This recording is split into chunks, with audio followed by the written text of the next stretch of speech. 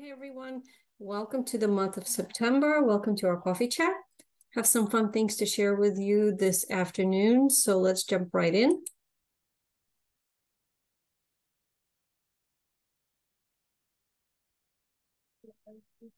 And here we go. So the first thing, of course, we're going to get started is with our September home maintenance checklist.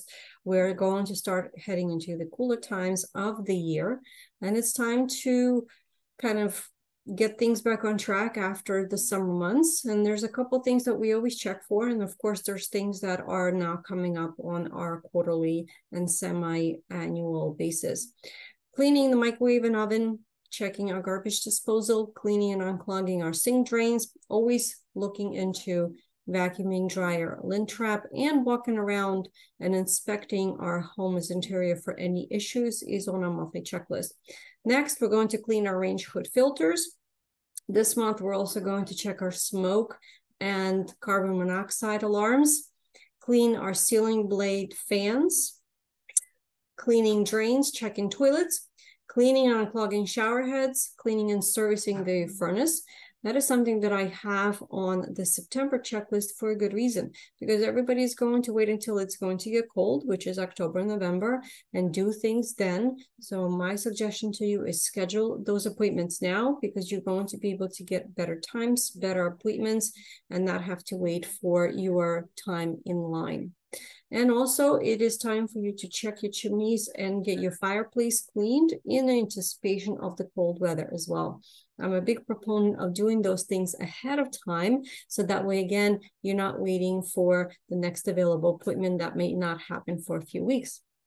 Our bonus tip today is for you to buy and use and have these Tide pens to go in your car and in your purse. They can be lifesavers if you're out and about and you have a pretty top or a nice dress on, and then coffee spills or something else happens, or you get some marinara sauce during dinner time.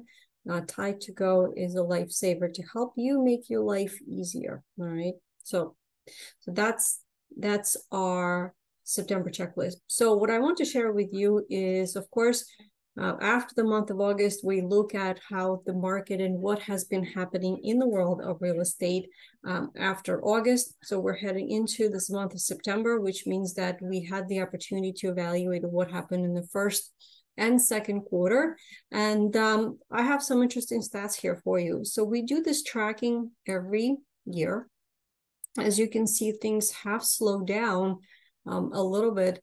We're kind of heading into that direction, yet things are still going strong. As you can see, the uh, year 22 was a record year for real estate. And uh, there's a little bit of a slowdown, and you definitely can see the slowdown in uh, in 2023. And the big reason for that is is that a lot of people have mortgages that have under 4% rate. But not a lot of people want to make a move because the current rates are in high uh, low sevens, seven and a quarter. So we get that. Here are where the mortgage rates are currently. We're kind of tracking them. And as you can see, a lot of people are kind of moaning and they are saying that it's a challenging time. The rates are definitely hard and, the, the home prices are high. But what I can tell you is if you look at this graph, since we started tracking the rates back in the 70s, you can see that our current rates are nowhere near some of those that were in the height of the market in the 70s and 80s. And, you know, when you're talking to some older generation like baby boomers, they're like, oh, what, 6%, 7%? Oh, that's not a big deal. We remember the time when our rates were at 16%, our rates were 12%, and we still bought because we need a place to live. But just keep that in mind, six and a half 7% interest rates are not bad. They're doable. It just takes some planning and having an action plan together, which we can always get together and put together with you. Right. It's kind of working together. Now, another slide, there's a huge eye, eye opener that I want to share with you is this one. Depending on what is your goal and how you feel about being a car owner or thinking about purchasing a home, it makes a difference. What is more important to you, a dream car or a dream home? So let's let's look at some of these numbers because here is the one statistics that I want you to keep in mind. And yes, I do know that the price of cars has gone up significantly because of the lag in production back during COVID time in 2021.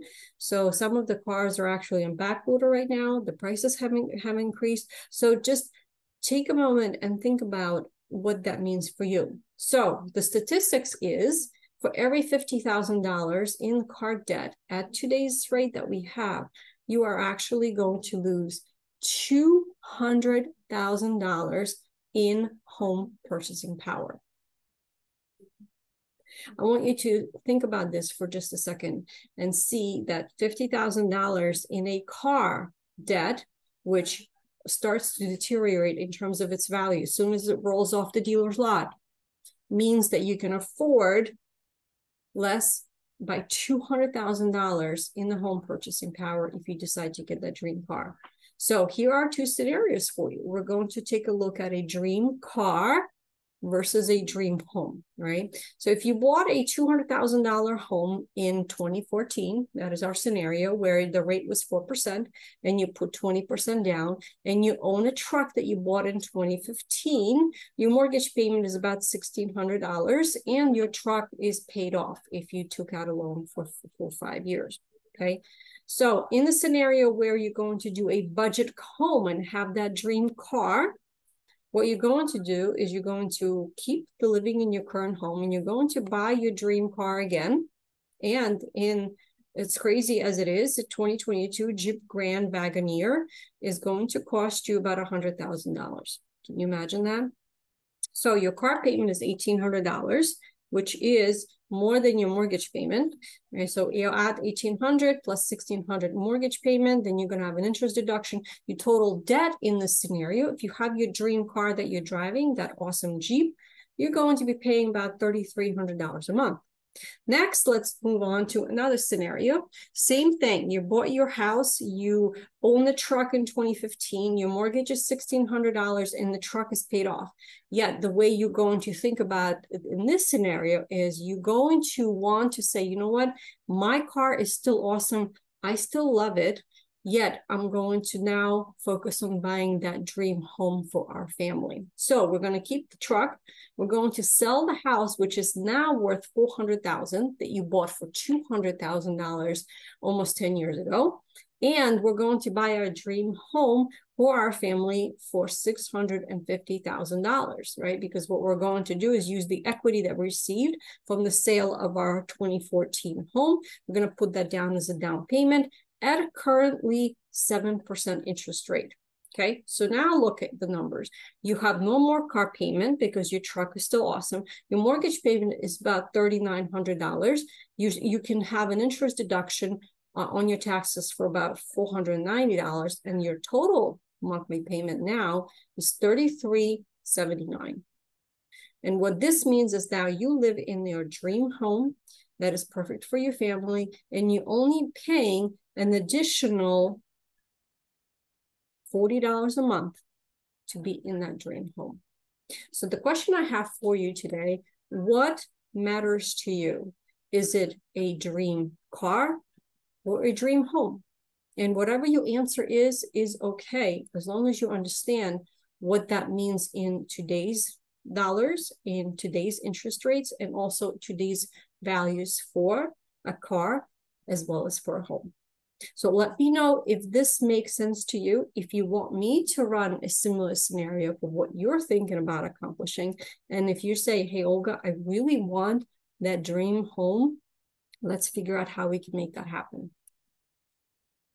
So it is that time of the year back to school. Some of our kids went back to school last week. Some of us are actually back coming back to school today. So definitely exciting time. The time is when you are kind of like back on track, back from summer uh, chaos, right? Back on the schedule, back in a routine. And just a quick reminder for you to have some things and help yourself and make your life a little bit easier. So, one of the things that I always recommend is to help you have things ready to go in your car because if your activities are back your kids are back to doing sports or or dancing or doing after school programs at school make sure that your car being your second home is working for you. Here's a list of things that i usually keep and i recommend that you keep in your car to again help you make life easier make sure that your kids are not going to eat you alive because there's something that's missing. So toilet paper paper towels neutral snacks are important that are cold and heat ready for adults and kids. A case of water is a must. Clorox wipes windex trash bags hand sanitizer phone battery charger pack blanket beanies and gloves are going to be just in time for when the weather gets cold, Ziploc bags and shopping bags for those areas where there are no more grocery bags. And how to help yourself save time so that way you're not always running around and kind of being reactive is put all your bills that you can on your personal and family credit card so that way you are earning the benefits from that credit card. Put all of your uh, credit cards on auto payment so you don't ever have to worry about being late and making those payments have a notepad on your fridge so that way you can jot down notes, you can create a grocery list and take it one step further and have notepads pretty much everywhere around you to make your life easier. So here I am sitting in my office. I have a couple of different um, sticky notes and I also have a couple of notepads to jot down ideas. Always do. It's in my office, it's in my, my kitchen, it's in my living room, in my bedroom as well as in my car. So don't use your brain as a storage. Your brain is there to come up with ideas. Use paper and pen to help you jot those ideas down, get them on paper so that way you can decide if you want to execute them or not.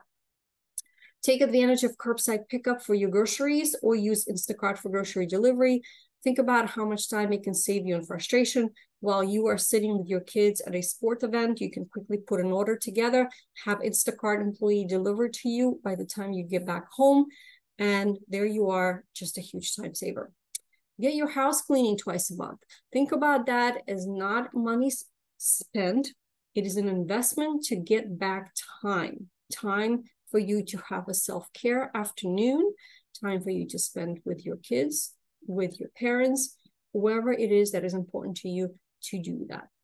And plan for unexpected. We're starting to come back to school, which means there's going to be birthday parties and activities and things like that that will be coming up. So buy cards in bulk, get plain cards so that we can jot a quick message depending on the event and occasion. Gift bags and gift cards, and you can put all of them in a nice tote and just store them somewhere out of sight, whether it's under your bed or in your closet. September events to enjoy, lots of things that are happening. It's one of my favorite times to go picking some fruit or enjoy uh, fruit and veggie stands or heading to farmer's market. There's lots of things that are happening on both sides of the river. Most of them are full festivals, they're town days. So lots of things that um, I definitely want to put on my own calendar. And that's the way to do it. Don't just look at the event and say, oh, this looks interesting go ahead and write it down in your planner. That way, when you are looking at that week ahead and making plans with your family, you can say, hey, there's a really cool fall festival that is coming up. Let's do it. Let's go to it. Things to do in New Jersey as well. There is a spirit fair. There is a music festival that is happening. And of course, street fairs and um, craft shows that are coming up as well. Lots of holidays, as always, to celebrate in the month of September. You know me, I always liked to do different things.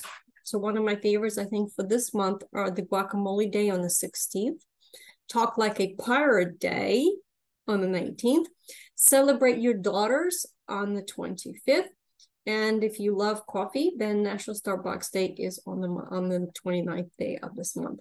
Overall, if you're a cat lover and cat owner like me, it is a National Happy Cat Month, National Save Your Photos Month, and National Self Improvement Month. So lots of different things for you to say, you know what, I'm going to take the time to have this really funky day to celebrate. Just make it fun for your friends and your loved ones to do so. And as always, you can join us. We have lots of things that are happening this month, lots of things that are scheduled. You can find all of our events being on uh, live with Olga uh, page. It's always there. You can click on it at any time to see what is happening. We have four webinars that are coming up. Updates on the budget. We're always decluttering every month. So you can come visit us and share with you your own struggles and get some tips and tricks and get motivated again. Back to school family organization tips and tricks. And uh, October 2nd is going to be our uh, our workshop for veterans on helping them use their home loan benefits. We actually have one tonight as well. And as always, you can reach out to me for any questions. Uh, please let us know how we can help you with your home ownership, with helping you to maintain your home, be a fun member over the, of our community. Of course, if you're looking for an updating consultation in your home, some to get some ideas on what you can do to your home on the budget, let us know. We are doing those in person as well as on Zoom.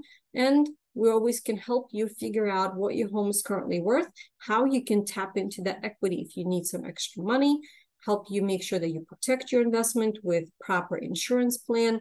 And if you are anticipating move, we can help you make it possible as stress-free as possible, of course, anywhere in United States and Canada. So you can find us on YouTube at Olga St. Pierre and at home with Olga. So this is what I have to share with you today. I hope you had a fun spending a few minutes with me in the beginning of this month. And I look forward to seeing you at any of my workshops, reaching out to you, and um, anything else that you can think of. Thank you so much for joining me today. And we will see you next month or at one of our workshops. Bye-bye.